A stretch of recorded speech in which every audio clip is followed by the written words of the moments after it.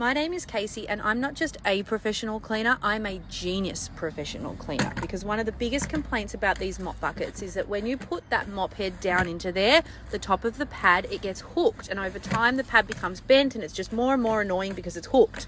Well, here's a tip that's so simple, you're going to wish you thought of it yourself. When you put that pad down there, you are going to leave it just a few millimeters so that it doesn't get hooked.